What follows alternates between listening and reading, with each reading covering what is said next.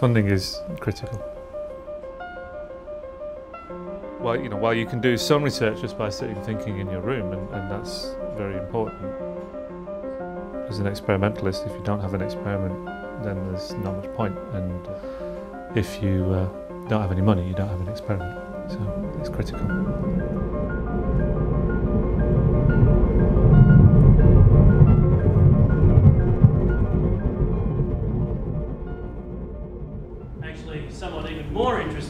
Last year, D0 observed for the first time ZZ production at Tevatron and measured its cross section. Now, this is the lowest cross section ever measured at a Hadron Collider. The operating costs are dominated by the cost of liquid helium, which has also gone up from three and a half a liter to 540 a liter. So we've also asked for a little more money to deal with that and ongoing. This number. The whole of the United Kingdom's particle physics program basically stands up there and tries to justify its existence and uh, make the case that this is what we're doing, this is why it's important, this is why we need this amount of money. I'm hoping that you're going to give us more.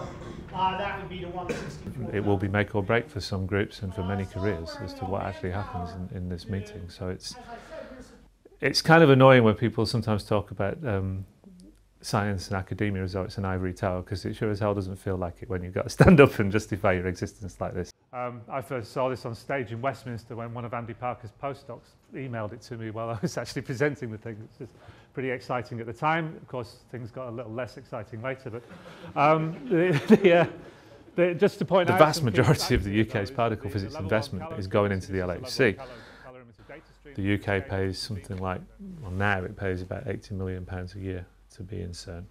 We're about 15% of CERN.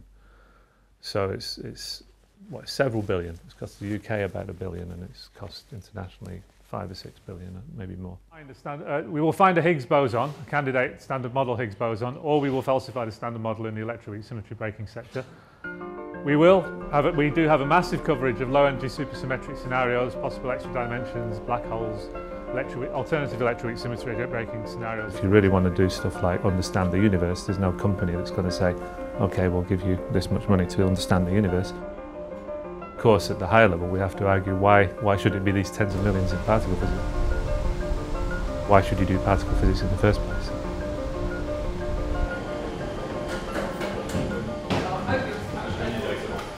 People's mood has been going up and down over the last year. There was huge excitement in the build up to 10th of September.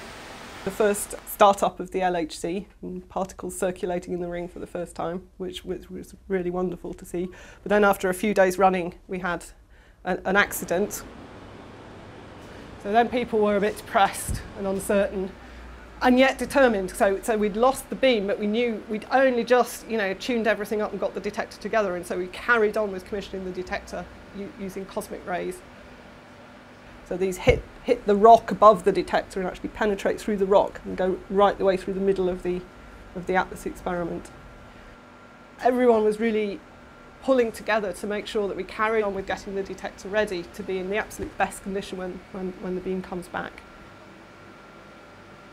Being involved in, in these cutting edge activities and engaging people on fundamental problems about the world around them and the universe around us is, um, is something that has unpredictable benefits. If they were predictable, you wouldn't need to, the taxpayer wouldn't need to fund them. Right?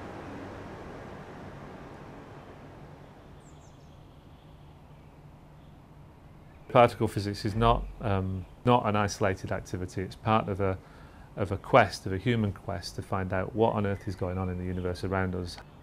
If there were no particle physicists in the world and there was no one asking these big questions and trying to address them, then it would have a real negative impact on solving the practical problems in the end as well.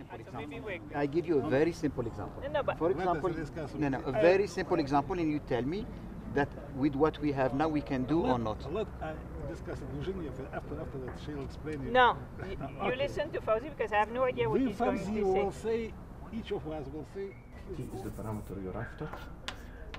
This is the workshop where just two years ago with John, we started thinking about the questions that eventually became the Eurostar paper. And okay, this is the since this is a really simple case, you can actually get PDF analytically. Okay, because you know you know that this is because you know this is a Gaussian sum of two Gaussian. But you could do that easily. John and I were both here. We happened to meet in the library here, and started discussing something and discovered we were both interested in it.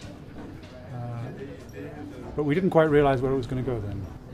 And it's only a couple of weeks after this workshop that we suddenly, suddenly realized the potential of what we'd, dis- we'd been discussing.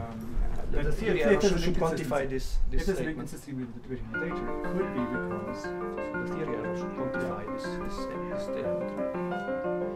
And for, for us, it's relatively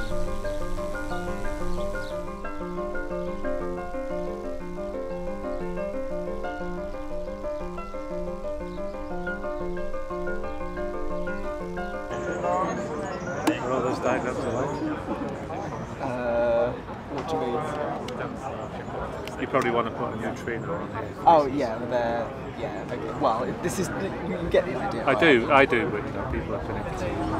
That'll be okay. I can't think of anything. I mean, Well, can't think of anything obvious that we're going to get in, in trouble with. You know, like No, difficult questions. no, there might well be difficult characters there, but everyone who ca- knows anything about Higgsness is going to be in the meeting. So. Yeah. But, um, What would people be difficult about? Right. oh, usually that we just haven't done it the way they do it. Yeah. well, yeah. Assuming we haven't missed anything completely obvious. Yeah, a bit of a just a, a lack of.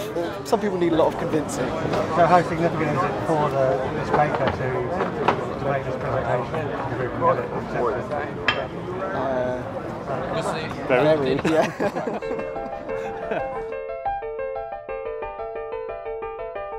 And we've already got to the point that the precision with which we're measuring cosmic ray tracks is, is really quite close to the ideal precision. We're quite pleased with how well we've been able to align the detector.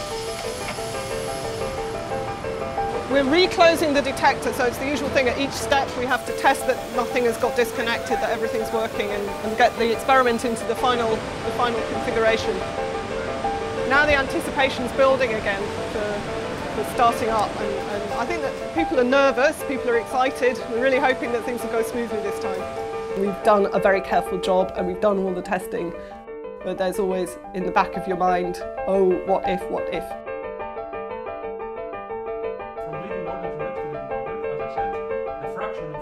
Z plus heavy quarks can be significantly higher, as you see this uh,